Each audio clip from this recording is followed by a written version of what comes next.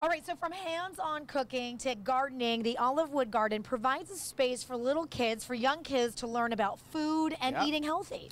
Here's a look now at the nearly seven acre garden. Check it out. Tucked away on a quiet street in National City is a beautiful yellow house lined with a porch and nestled to its side a luscious big backyard. But if you look closer, you will see a place that is changing the health of young kids all around the city and county.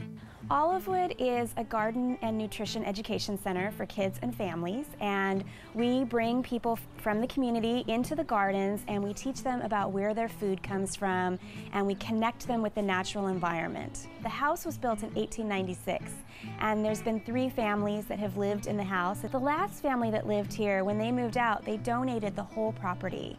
And one of the stipulations in their donation was that the gardens that they had built would continue to be maintained and would be leveraged for the community benefit. So Olivewood Gardens was born. Now hundreds of third, fourth, and fifth graders make special trips to the gardens to learn about healthy choices. Are these your two?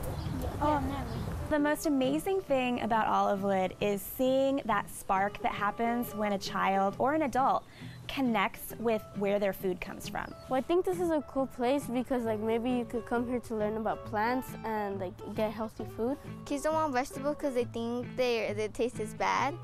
But when they get to, if they come over here, they're gonna change their minds. They see it, they touch it, they learn about it. When they see celery growing out of the ground and they recognize it and they say, Oh my gosh, I never knew that's how celery grew. Or when they look at broccoli for the first time and they say, Wow, look at the size of those leaves. I had no idea. And it's just, it's so magical to see how food comes to life for them. And the magic doesn't stop there.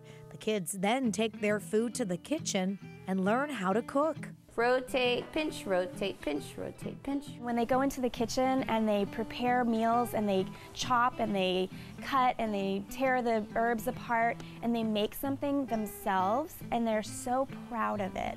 Do you think you got all of the ingredients on there? If we can change the way we're eating, we can change our longevity, we can change our health, we can impact health outcomes. Family by family, community by community, we're really impacting health outcomes here in National City and throughout the county. And even though veggies may still not be a kid's first choice of food, at least they are learning a golden rule. Take one big bite before saying no thank you.